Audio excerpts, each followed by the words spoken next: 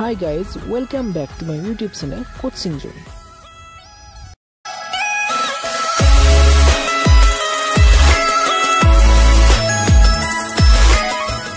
ছাত্ৰ ছাত্ৰীসকল আহি পালে পৰীক্ষাৰ সময় যে আমি যোৱা কেইদিনমান আগতে যিখন চিডিউল প্ৰস্তুত কৰি উলিয়াইছোঁ ছাত্ৰ ছাত্ৰীসকলৰ বাবে যে আজি আমাৰ সন্ধিয়া ছয় বজাত ক্লাছ এইটৰ মেথছ টেক্সট বুকৰ লেচন নম্বৰ ওৱানৰ পৰা লেচন নম্বৰ এইটলৈ এশ নম্বৰ এটা পৰীক্ষা অনুষ্ঠিত কৰা হ'ব। সেয়েহে সেই মৰ্মে আজি আমাৰ পৰীক্ষাৰ যিটো কুৱেশ্যন পেপাৰ সেই কুৱেশ্যন পেপাৰটো ছাত্ৰ ছাত্ৰীসকলৰ ওচৰলৈ আগবঢ়াই লৈ আহিছোঁ। গতিকে আহাচোন আমি কেনেকুৱা ধৰণে পেপাৰখন দিছোঁ চাই লওঁ। গতিকে প্ৰথমতে আমাৰ পেপাৰখনত কি আছে আমি সেইখিনি চাই লৈছোঁ। ইয়াত প্ৰথমতে দিয়া হৈছে যে ছমহীয়া পৰীক্ষা শ্ৰেণী অষ্টম বিষয় গণিত। এইখিনি দিয়া হৈছে আমাৰ। তাৰপিছত আমাৰ পেপাৰখনত সময় থাকিব তিনি ঘণ্টা আৰু মুঠ নম্বৰ থাকিব এশ। আৰু ইয়াত এক নম্বৰে দিয়া হৈছে আমাৰ শুদ্ধ শুদ্ধ কৰিব লাগে গতিকে ছাত্ৰ ছাত্ৰীসকলে এই পাঁচটা শুদ্ধ শুদ্ধ কৰিব লাগিব। আৰু ইয়াত আমাৰ মুঠ নম্বৰ আছে পাঁচ প্ৰতিটোৰে বাবে আছে আমাৰ এক নম্বৰকৈ তাৰপিছত আমাৰ দুই নম্বৰ যিটো প্ৰশ্ন আছে তাত কোৱা হৈছে চমু উত্তৰ দিয়া। ইয়াতো আমাৰ প্ৰতিটোৰে বাবে এক নম্বৰ টোটেল পাঁচ নম্বৰ থাকিব। আমাৰ প্ৰথমটো কোৱা হৈছে যে পৰিমাণ সংখ্যা কাক বোলে? দ্বিতীয়টো কোৱা হৈছে যে বীজ বা মূল মানে কি? তৃতীয়টো আমাৰ চিটো দিয়া হৈছে যে জেমিটিৰ দৈনন্দিন জীৱনৰ এটা ব্যৱহাৰ। ডিটো দিয়া হৈছে বৰ্গমূল বুলিলে কি বুজা আৰু ইটো দিয়া হৈছে গণিত দিৱস ভাৰতবৰ্ষত কোন তাৰিখে পালন কৰা হয়? আৰু এইকেইটাত আমাৰ টোটেল পাঁচ নম্বৰ আছে। তাৰপিছত আমাৰ যিটো তিনি নম্বৰ প্ৰশ্নটোত সমাধান কৰিবলৈ দিয়া হৈছে তলত দুটা সমীকৰণ আছে এই দুটা সমাধান কৰিব লাগিব। ইয়াত আমাৰ দুটাকৈ দুই নম্বৰকৈ আছে দুটাতে টোটেল চাৰি নম্বৰ আছে। তাৰপিছত আমাৰ চাৰি নম্বৰ যিটো প্ৰশ্ন আছে তাত আছে যে তলত দিয়া উত্তল বহুভুজবোৰ কৰ্ণসহ চিত্ৰ আঁকি মুঠ কৰ্ণৰ মান নিৰ্ণয় কৰা গতিকে ইয়াতো আমাৰ এটা দুই নম্বৰকৈ টোটেল চাৰি নম্বৰ আছে এই নম্বৰ দিয়া হৈছে অষ্টভুজ আৰু বি নম্বৰ দিয়া আছে দশভুজ। তাৰপিছত আমাৰ পাঁচ নম্বৰটো দিয়া আছে যে তলত দিয়া সংখ্যাকেইটাৰ মৌলিক উৎপাদক বিশ্লেষণ আৰু হৰণ পদ্ধতিৰে বৰ্গমূল নিৰ্ণয় কৰা। গতিকে আমাৰ মৌলিক উৎপাদক বিশ্লেষণ আৰু হৰণ পদ্ধতি দুটা পদ্ধতিৰে আমাৰ ইয়াত কি কৰিব লাগিব? আমাৰ যিটো ইয়াৰ বৰ্গমূল সেইটো উলিয়াব লাগিব। গতিকে আমাৰ এটাত চাৰি নম্বৰকৈ দুটা টোটেল আঠ নম্বৰ আছে। তাৰপিছত আমাৰ নেক্সট যিটো আমাৰ ইয়াত ছয় নম্বৰ প্ৰশ্ন আছে। ছয় নম্বৰ প্ৰশ্ন লাগিব। গতিকে আমাৰ এটাত চাৰি নম্বৰকৈ দুটা টোটেল আঠ নম্বৰ আছে। তাৰপিছত আমাৰ নেক্সট যিটো আমাৰ ইয়াত ছয় নম্বৰ প্ৰশ্ন আছে। ছয় নম্বৰ প্ৰশ্নটোত আমাৰ দিয়া হৈছে যে আমাৰ যিটো ৰুটভাৰ দিয়া হৈছে ৰুটভাৰ কিউ অৰ্থাৎ আমাৰ ঘনমূল উলিয়াব লাগিব হেণ্ড্ৰিটৰ গতিকে আমাৰ এইটো নম্বৰ দিয়া হৈছে। দুই নম্বৰ দিয়া হৈছে এইটোত আমাৰ তাৰপিছত আমাৰ ইয়াত যিটো সাত নম্বৰ প্ৰশ্ন আছে সাত নম্বৰ প্ৰশ্নটো আমাৰ ইয়াত দিয়া হৈছে যে এটা সংখ্যাৰ ফ'ৰ বা ফাইভ অংশ সংখ্যাটো দুইভাগে তিনি অংশতকৈ ছয় বেছি। সংখ্যাটো কি? গতিকে আমাৰ ইয়াত তিনি নম্বৰ দিয়া হৈছে। তাৰপিছত আমাৰ আঠ নম্বৰ প্ৰশ্ন হৈছে তিনিটা ক্ৰমিক স্বাভাৱিক সংখ্যাৰ যোগফল ফৰ্টি ফাইভ সংখ্যাকেইটা উলিয়াওঁ। ইয়াত আমাৰ তিনি নম্বৰ দিয়া হৈছে। তাৰপিছত আমাৰ ন নম্বৰ যিটো আছে সেইটোত কোৱা আছে যে এ বি চি ডি বৰ্গত কোন এ is equal to four x plus thirty degree হ'লে এক্সৰ মান উলিয়াওঁ সেইটোত আমাৰ তিনি নম্বৰ দিয়া হৈছে। তাৰপিছত আমাৰ দহ নম্বৰ প্ৰশ্নটো দিয়া হৈছে যে লুডু গুটি এটা টছ কৰা পৰীক্ষাৰ সৈতে জড়িত ঘটনাকেইটাৰ তলত দিয়া হৈছে।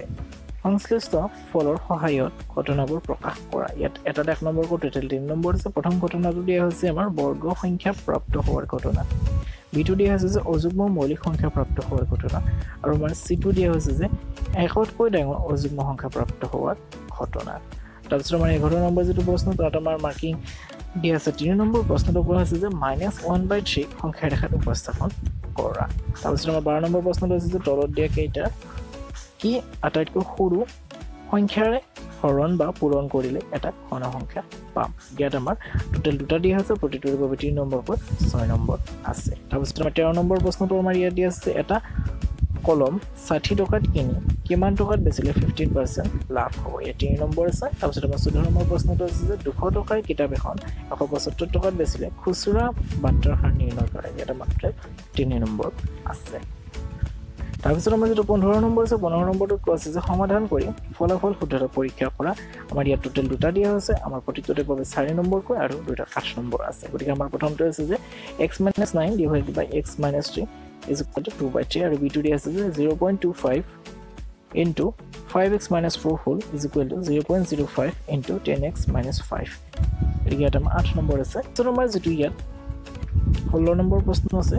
ষোল্ল নম্বৰ প্ৰশ্নটো আমাৰ এনেকুৱা ধৰণে দিয়া হৈছে যে বিছটা বাহু বিশিষ্ট এটা সুষম বহুভুজৰ প্ৰতিটো বহীকোণৰ জোখ কিমান হ'ব? আৰু এইটো তোমাৰ চাৰি নম্বৰ আছে। তাৰপিছত আমাৰ ইয়াত যিটো সোতৰ নম্বৰ প্ৰশ্ন আছে তাত কোৱা হৈছে যে এ বি চি ডি সমান দৈৰ্ঘ্যৰ বিধিকৰণৰ ওপৰত এ এফ আৰু চি এফ লম্ব ৰেখাখণ্ড হ'লে দেখুওৱা যে আমাৰ ত্ৰিভুজ এ ই ডি সৰ্বসম ত্ৰিভুজ চি এফ পি। আৰু এইটো আমাৰ চাৰি নম্বৰ দিয়া আছে। তাৰপিছত আমাৰ ওঠৰ নম্বৰ প্ৰশ্নটো হৈছে যে বাৰ বিছ আৰু পঁচিছেৰে হৰণ কৰিব পৰা ক্ষুদ্ৰতম পূৰ্ণবৰ্গ সংখ্যাটো নিৰূপণ কৰে। ইয়াত আমাৰ চাৰি নম্বৰ দিয়া হৈছে। তাৰপিছত আমাৰ ঊনৈছ নম্বৰ প্ৰশ্নটো হৈছে যে এটা সামান্তৰিক পি কিউ আৰ অংকন কৰা য'ত P Q is six centimetre Q R is equal to seven centimetre আৰু এছ কোন is equal to eighty five degree আৰু এইটো তোমাৰ দুই যুগ তিনি সমান পাঁচ নম্বৰ আছে দুই নম্বৰ থাকিব আমাৰ অংকন প্ৰণালীৰ বাবে আৰু তিনি নম্বৰ থাকিব আমাৰ চিত্ৰটোৰ বাবে। তাৰপিছত আমাৰ যদি বিছ নম্বৰ প্ৰশ্ন আছে বিছ নম্বৰ প্ৰশ্ন কোৱা হৈছে তলত দিয়া তথ্যখিনিৰ পৰা এখন দণ্ডচিত্ৰ অংকন কৰা। এইখিনি আমাৰ তথ্য ইয়াত আৰু এইখিনি তথ্যৰ পৰা কি কৰিব লাগিব আমাৰ এখন দণ্ডচিত্ৰ অংকন কৰিব লাগিব য'ত নম্বৰ থাকিব পাঁচ। তাৰপিছত আমাৰ যদি একৈছ নম্বৰ প্ৰশ্ন একৈছ নম্বৰ প্ৰশ্নটো কৈছে যে তলত দিয়া তালিকাখনৰ পৰা কেন্দ্ৰীয় কোণ নিৰ্ণয় কৰা আৰু পাইচিত্ৰ অংকন কৰা। গতিকে এইখনিতো আমাৰ পাঁচ নম্বৰ দিয়া হৈছে এইখন হ'ল আমাৰ তালিকা। এই তালিকাখন ছাত্ৰ ছাত্ৰীসকলে কি কৰিব লাগিব? এখন তেওঁলোকে পাইচিত্ৰ অংকন কৰিব লাগিব। আমাৰ যিটো কেন্দ্ৰীয় কোণ আছে সেইটো ব্যৱহাৰ কৰি। তাৰপিছত আমাক যিটো বাইছ নম্বৰ প্ৰশ্ন বাইছ নম্বৰ প্ৰশ্নটো দিয়া হৈছে যে মিশ্ৰ সূতৰ সৰল সূতৰ সূত্ৰ ব্যৱহাৰ কৰি মিশ্ৰ সূতৰ সমৃদ্ধিমূল নিৰ্ণয় কৰা। গতিকে আমাৰ এই তথ্যখিনি দিয়া হৈছে মূলধন তিনিশ টকা সূত্ৰৰ হাৰ থ্ৰী পাৰ্চেণ্ট আৰু সময় দুই বছৰ। অৰ্থাৎ ইয়াৰ আমাৰ যিটো ইয়াত মিশ্ৰ সূত্ৰৰ সমৃদ্ধিমূল উলিয়াব লাগিব সেইটো দুটা সূত্ৰ ব্যৱহাৰ কৰি উলিয়াব লাগিব। প্ৰথমতে আমাৰ সৰল সূতৰ সূত্ৰ ব্যৱহাৰ কৰে তাৰপিছত আমাৰ যিটো মিশ্ৰ সূত্ৰৰ সূত্ৰ সেইটো ব্যৱহাৰ কৰি সেয়েহে আমাৰ ইয়াত পাঁচ নম্বৰ পাঁচ নম্বৰ দহ নম্বৰ দিয়া হৈছে। গতিকে আশা ৰাখিছোঁ ছাত্ৰ ছাত্ৰীসকলৰ বাবে এইখন পেপাৰ অতিকৈ হেল্পফুল হ'ব। আৰু তেওঁলোকে আগন্তুক সময়ত যিবোৰ তেওঁলোকৰ বিদ্যালয়ত বা অন্যান্য প্ৰতিষ্ঠানত পৰীক্ষা অনুষ্ঠিত কৰিব সেই পৰীক্ষাৰ বাবে তেওঁলোকে অতি ভালদৰে নিজকে আৰু প্ৰস্তুত কৰি তুলিব পাৰিব। যদিহে ভিডিঅ'টো চাই ভাল লাগিল তেন্তে প্লিজ ভিডিঅ'টো লাইক কৰি দিবলৈ নাপাহৰিব আৰু যদিহে তেওঁলোকে চেনেলটো ছাবস্ক্ৰাইব কৰা নাই তেন্তে প্লিজ চেনেলটো ছাবস্ক্ৰাইব কৰি বেল একাউণ্টত প্ৰেছ কৰি দিব। ভিডিঅ'টো চোৱাৰ বাবে বহুত বহুত ধন্যবাদ। B alert two save